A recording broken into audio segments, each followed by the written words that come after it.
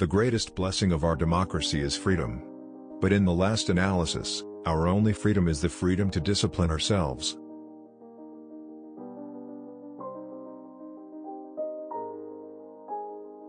Vote for the man who promises least, he'll be the least disappointing.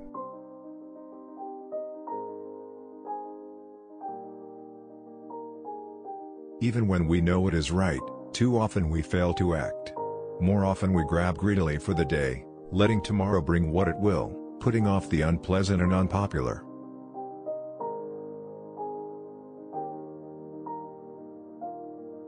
Age is only a number, a cipher for the records. A man can't retire his experience. He must use it. Experience achieves more with less energy and time.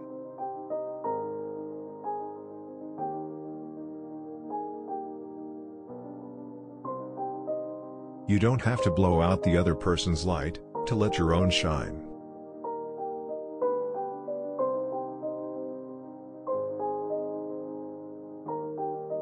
Everyone is entitled to be wrong about their opinions, but no one has the right to be wrong about their facts.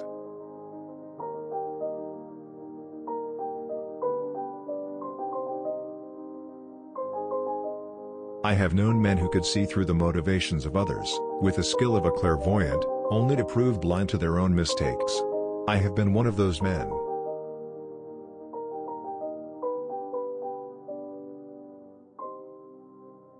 I was 11, then I was 16. Though no honors came my way, those were the lovely years.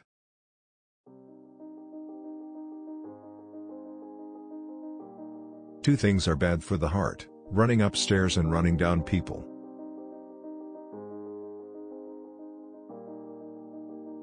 Most of the successful people I've known, are the ones who do more listening than talking.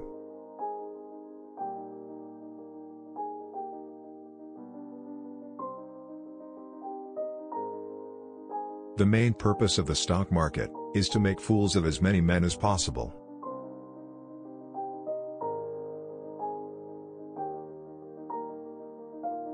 Whatever men attempt, they seem driven to overdo. When hopes are soaring, I always repeat to myself that 2 and 2 still make 4.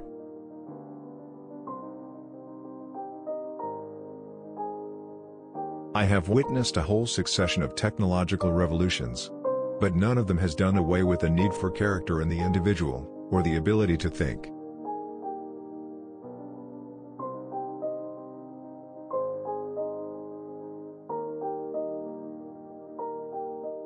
Creativity, take the obvious. Add a cupful of brains, a generous pinch of imagination, a bucketful of courage and daring, stir well and bring to a boil.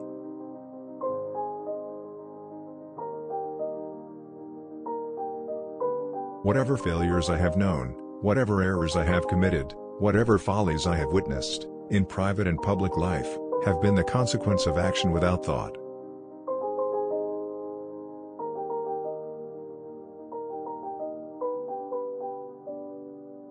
One of the secrets of a long and fruitful life, is to forgive everybody, everything, every night before you go to bed.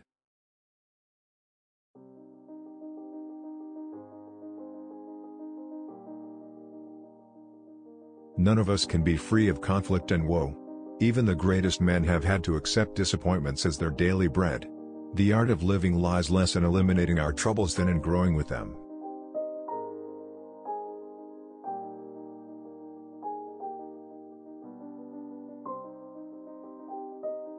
Whatever task you undertake, do it with all your heart and soul. Always be courteous, never be discouraged. Beware of him who promises something for nothing. Do not blame anybody for your mistakes and failures. Do not look for approval except the consciousness of doing your best.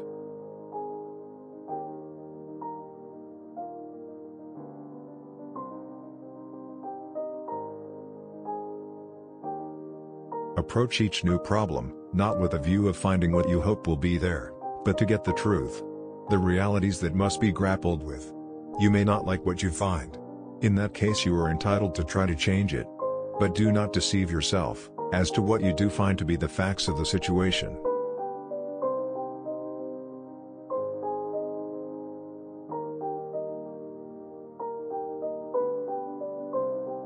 Recipe for Success, Be polite, Prepare yourself for whatever you are asked to do, keep yourself tidy, be cheerful, don't be envious, be honest with yourself so you will be honest with others, be helpful, interest yourself in your job, don't pity yourself, be quick to praise, be loyal to your friends, avoid prejudices, be independent, interest yourself in politics, and read the newspapers.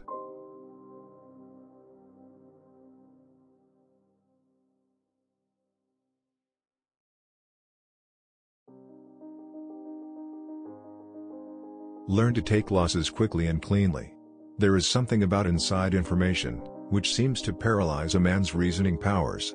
Beware of barbers, beauticians, waiters, or anyone, bringing gifts of inside information or tips. Don't try to be a jack of all investment.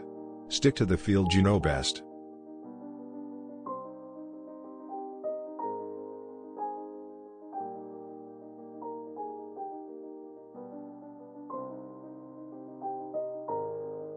Peace is never long preserved by weight of metal, or by an armament race.